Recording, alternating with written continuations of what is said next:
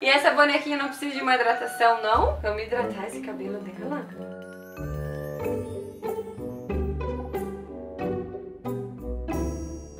Oi, lindonas! Tudo bem com vocês? O vídeo de hoje é muito pedido. Como hidratar o cabelo de crianças e como cuidar do cabelo de crianças que eu tenho a minha filha de 3 anos, vocês estão percebendo como o cabelo dela tá grande, né, tá comprido. Lá no Instagram também eu sempre recebo essa dúvida, principalmente nas lives de domingo, todo domingo a gente tem live, né, na parte da tarde, hidratando o cabelo ao vivo, e vocês perguntou muito isso. Júlia, como que você hidrata o cabelo da Maju? Tem alguma restrição de como cuidar do cabelo de criança? Então nesse vídeo eu reuni 7 dicas pra você, tá, lindona? Então antes de começar, já vou pedir pra você enviar esse vídeo pra três amigas suas aí que têm filhos, eu tenho certeza que essas dicas vão ajudar elas, nem que seja um pouquinho, né? Porque a gente no dia a dia sempre tem aquela dificuldade, que produto usar, que produto testar, e a gente sempre tem receio também quando começar a é, secar o cabelo da criança, enfim, a gente tem muitas dúvidas quando se trata do cabelo dos nossos pequenos. Então esse vídeo é tudo que eu já aprendi na prática com a Maju, tudo que deu certo pra gente, melhores dicas aí selecionadas pra vocês, combinado? Então deixa seu like e se você é novo por aqui, seja muito bem-vindo à nossa família, vem fazer parte se inscreve e já ativa o sininho para você não perder nenhum vídeo aqui do canal, tá bom? Bora lá começar! Primeira dica, gente, tem que ser um shampoo neutro. Esse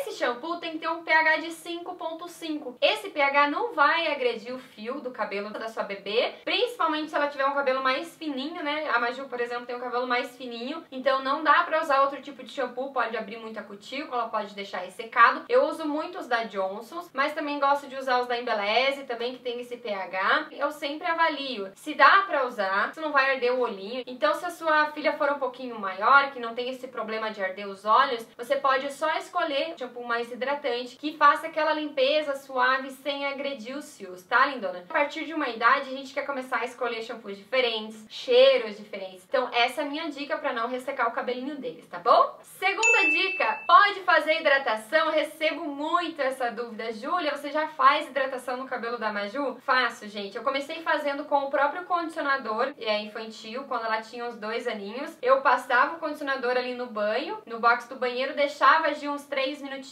depois eu enxaguava. O cabelo ficava bem mais emoliente, bem mais macio do que simplesmente aplicar e já tirar. Então eu adoro essa dica, até no meu cabelo eu gosto bastante. Aí depois eu comecei a experimentar alguns tipos de máscaras mais levinhas, não no sentido de leve de hidratação, mas no sentido de composição mesmo, sabe? Que não tem muitos óleos, não tem muitas manteigas. Então eu procurei umas máscaras assim que tem o pH equilibrado, né? Um pH 3.5, no máximo 4.0. E algumas eu uso no cabelo dela e dá super certo, gente. As máscaras da Embeleze dão certo. As máscaras da Ienza também dão super certo pro cabelo dela. E eu indico você procurar uma máscara assim, que seja liberada também de óleo mineral, porque o óleo mineral ele dá uma pesada no cabelo da criança. Cabelos cacheados podem hidratar com umas máscaras mais nutritivas? Pode sim. Aí vai de você testar uma máscara sua que você já goste, liberada, né, de óleo mineral. Usar uma máscara já com óleos vegetais, com manteiga de karité, umas máscaras mais nutritivas. Só evitar mesmo a raiz. Não tenha medo de usar, tá, lindona? A partir dos dois anos ali, a gente pode usar alguns produtos mais leves. Depois dos três anos, mas já tá com três anos, a gente consegue usar umas máscaras um pouquinho mais diferenciado. Só eu tomo cuidado para realmente não pesar. Aí ele fica bem soltinho, bem hidratado, cheiroso. Ela fica batendo o cabelo assim. É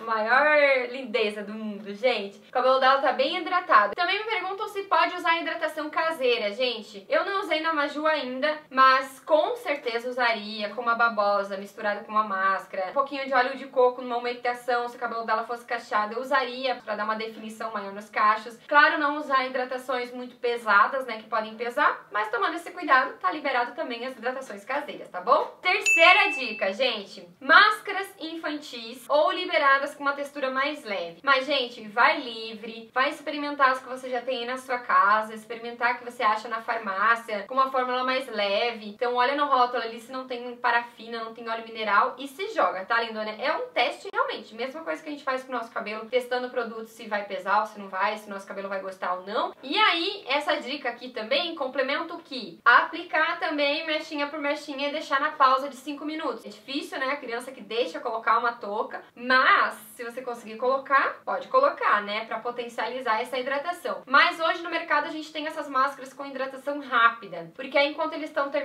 o banho ali, a Maju fica brincando no box, gente, ela fica brincando na banheira enquanto a hidratação tá agindo no cabelo dela. Quarta dica, gente, pra manter o cabelo da bebê hidratado, é você aplicar um leave-in de manhã antes de pentear o cabelo. Eu passo um leave-in no cabelo dela pra não armar e também pra manter as pontas mais bonitas, manter ele mais hidratado, reduzir o frizz. Então uma dica que eu dou também pra não quebrar o cabelo na hora de pentear, principalmente cabelo cacheado, né? Umedecer esses cachos ali com um pouquinho de água, um pouquinho de Bepantol e um pouquinho de creme, faz uma misturinha ali, aplica no cabelo, aí penteia com uma escova raquete ou com um pente mesmo que é de dentes largos, ou passa os próprios dedos, tá? Mas não penteia o cabelo dele seco. Quando a gente penteia o cabelo e, e dói, e rosca e tal, e aí eles não gostam, né? Então passa um leave antes que vai ajudar nesse desembaraçar também. Quinta dica é pentear devagar, gente. Pentear de baixo para cima, para não embaraçar, porque se embaraçar e doer, eles começam a não querer mais pentear o cabelo.